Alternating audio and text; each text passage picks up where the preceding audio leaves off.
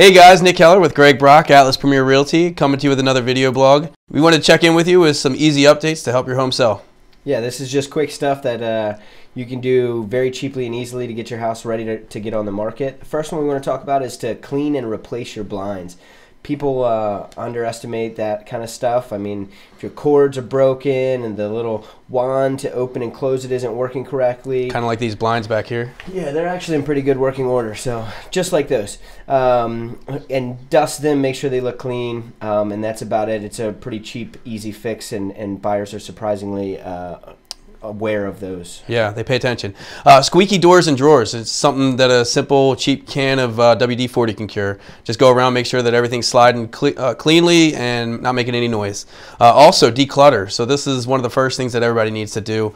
Uh, it's something you can do pretty, pretty, pretty uh, cost effectively.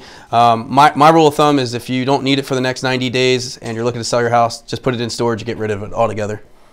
Next one that we uh, suggest is to freshen the air, and that is not just by putting air fresheners into the property. 17 air fresheners actually does the exact opposite, and most buyers are pretty turned off by that.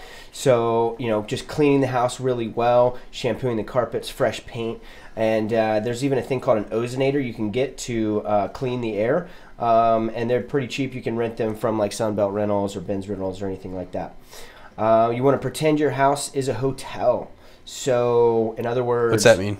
That means you want to set up the towels really nice on the rack, have fresh, clean towels, have the dining room set up as if it's got uh, it's ready to have a, a meal place there. Make your bed make your bed every single day uh, and use those extra pillows that your wife got and that you uh, yeah. you, you see in um, for, for your listing. Yep. Uh, also, one of the things you want to do is if it's uh, holidays coming up, you want to just corral your uh, seasonal decorations. It's not that you don't decorate; it's just you don't want to overdo it. It just becomes tacky and kind of distracts from the rest of the house. And the last one we have for you is just check your front door. Uh, it's the first thing that people look at when they come in, so it's it's all about curb appeal. You may not be aware of it because if you have a garage, you probably go in that entry, but just make sure it's painted up, uh, caulked up, and just free of any cobwebs or anything that might detract from the curb appeal. So these are the uh, few things that we have for you that can dress up your home on the cheap and um, just something that quick and easy to do if you're preparing your house to sell. Uh, as always, if you have any questions or you need help with anything, don't hesitate to reach out. Thanks for watching our video blog.